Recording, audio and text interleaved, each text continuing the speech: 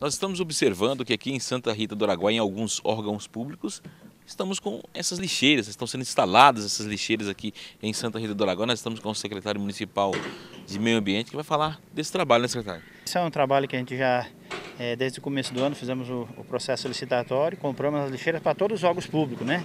É, a intenção nossa é começar uma sementinha, vamos dizer assim, primeiro nos, nos, nos, órgãos públicos, né, nossos funcionários públicos, é, para começar a, a, vamos dizer assim, a entender o que é a reciclagem. Então, instalamos as, as lixeiras na, nos órgãos públicos e vamos sim, é, conscientizar os próprios funcionários para que comecem a separar.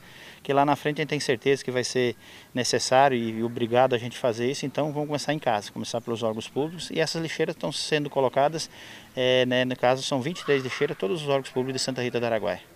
E esse trabalho vai continuar até quando? Não, até hoje a gente já encerra, né? já instalou várias hoje, agora vamos instalar o restante aqui.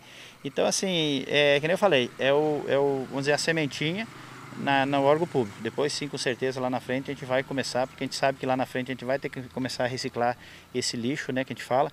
E na realidade a gente fala lixo, mas são tudo, são, são vamos dizer assim, é um produto que tem, tem, tem valor.